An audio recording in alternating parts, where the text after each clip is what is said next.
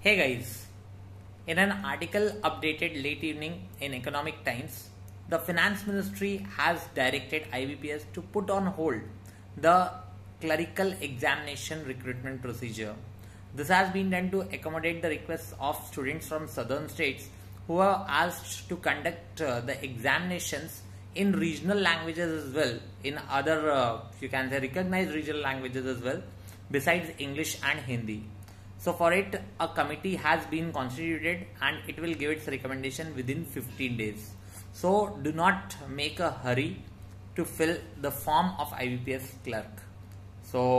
don't worry कुछ भी चिंता करने की बात नहीं है माना कि जो है रिकमेंडेशन देने के लिए पंद्रह दिन लेंगे but as you all know कि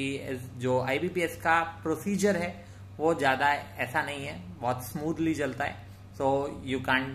you don't have to worry about it at all okay so all the best keep preparing अपनी प्रिपरेशन जारी रखो और बिल्कुल सक्सेस की तरफ़ बढ़ते रहो